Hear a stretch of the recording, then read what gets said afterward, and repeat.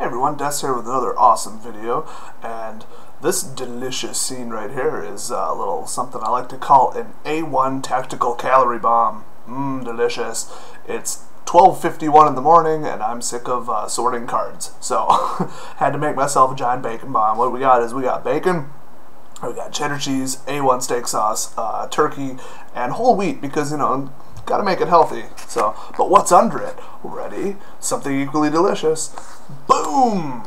Those are the two uh, expedition lands that I pulled. We've got um, Smoldering Marsh, which it's never going to focus on. Hey, look at my crappy camera. Awesome. Look at that.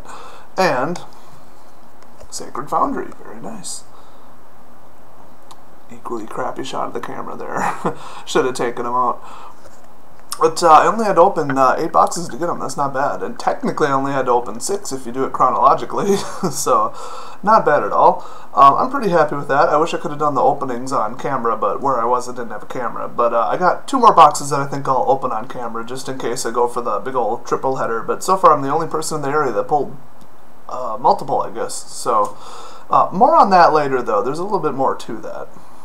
For now, you're probably wondering why there's Eldrazi Scion tokens over here. Well, let's take a closer look at what's going on with these guys. Uh, hopefully you can see this on the camera. You can see the top there. Yep, now see the top right. Everything's backwards. Right there. Uh, this is just not working. Well, just take my word for it. They're all damaged. there we go. So they have that little nick in the top, and they're all almost in exactly the same place. Now here's the fun thing. These came from two different boxes from Southern Hobby. These came from two different boxes direct from Wizards. I know that because I know where my vendors get my stuff. So, how did they manage to screw up in the same way? And by the way, I have like 20 of these. I only brought four as an example. How did they screw up all the Eldrazi Scions? Like, all of them, theoretically kind of weird. I mean, all three different artworks right there represented, and they all just have massive head injuries, I guess you would say. Um, very strange. Uh, I guess somehow they're getting damaged. Now, the boosters that they were in were completely undamaged. All the cards around them were just fine, and the boxes were in perfect condition. So, no other cards at all were damaged. It's just Eldrazi Scion, so I don't know if like somebody has a vendetta against them or something. I don't know. I'm sure it's just some hilarious flaw. But speaking of hilarious flaws that aren't funny at all, let me break this down. You're probably going to get where I'm going with this real quick, but I'll give you the, the mathematics of it at the end. I go to a tournament pre-release, uh, about 110 people. So these are the pre-release packs, okay? The you know those little green foil ones. Um, two people, well, three people total pulled expeditions, but two of them were the same. I believe they were Scalding Tarns. They pulled two Scalding Tarns. Pretty good. Okay, fast forward. Uh, me and the person behind me in line, so theoretically from the same case, uh, we opened our boxes together and we both got a Smoldering Marsh. Now, fast forward to the Fat Pack Challenge, which is only about 30 to 40 people, all competing with uh, Fat Packs. Because um, the first one was booster, or the second one was booster boxes. Uh, fat Packs. Um, only two expedition lands were pulled, and they were both. Um, let me think. Uh, they were one of the recent fetches. I don't remember exactly which one. I think it was Flooded Strand, if I remember correctly. Um, I think that's what it was. So, the probability of a person pulling one at all, and then a second person within the same pool of cards pulling the exact same one uh, three times in those pools, I did the math, it's roughly 1 in 100 million. So, assuming that it wasn't some Bermuda Triangle random luck Powerball level lightning strike. Um, what the this means is that if you buy a product, pretty much any product, um, from one shop, and they all came on, a, I would think, the same pallet is what it would turn out to approximately be. Not necessarily the same case, obviously not the same box, because you're buying boxes, but if they came on the same pallet, whoever pulls one Expedition Land the next ones in that that shipment, we'll say, or order, uh, are extremely more likely to contain the exact same one. So, uh-oh, patterns are very bad. This this harms online sellers because let's say they get you know five pallets and they just keep pulling the same expedition lands and they can't pull expeditions that you know would have mathematically been ones that they would pull. Like they pull like eight of one, eight of one, and then just zero of the rest or something obviously it would be more than that, but that's going to harm the online sellers because they have pre-orders for these and they can't fill them because you can't pull them because they aren't random. So a little bit of a problem. I really don't care about them because I don't like most of the online sellers. You know, I like supporting local, but I kind of get it. I don't absolutely hate them, but they undercut me on eBay, so I don't like that. But um, whatever, tough nuts to them.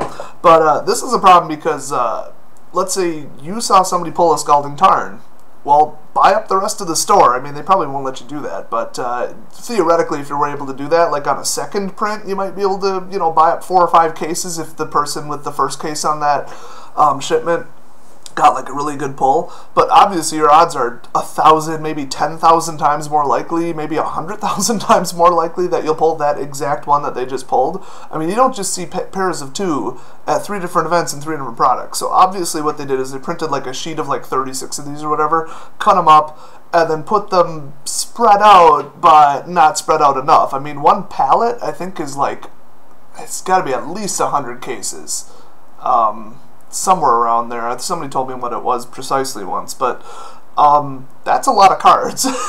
that's a lot of booster packs. That's like thousands and thousands of booster packs. So from that one palette, you're not going to have a representative amount of expedition lands apparently. You're just not.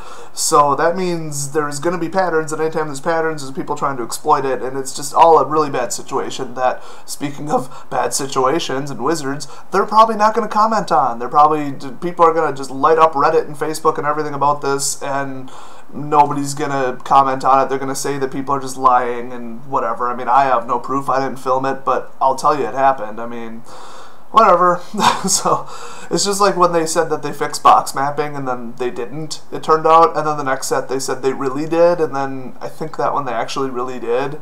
And now we're like back. I mean, this is like whole box mapping, like, you know, like clean out the store mapping. But um, whatever. I mean, it's a good way to come up with like six or seven or eight, you know, especially if you're the shopkeeper. That's what I'm worried about. So definitely not the greatest situation, but um, I don't know if you see your friend pull one, buy more than you would have, I guess, because your odds are way better. Now the weirdness continues. Out of my first three boxes, I pulled 24 foil full art lands. 24. I mean, what?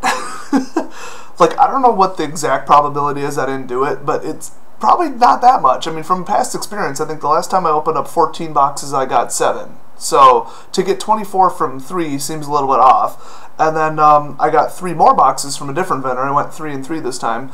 And um, those I got one out of all three boxes, just one. So the fact that I pulled 24 means somebody else is getting zero or near to zero. Now these cards on eBay right now are 10 bucks a piece, so that's $240 that I'm not complaining about, but really wish these packs were random. They're moving from random and no problems, no patterns, as far as I've heard, to problems and problems and problems and patterns and all kinds of stuff. I mean, it's just like Modern Masters 2015. They either accidentally or purposely made all mythic boxes.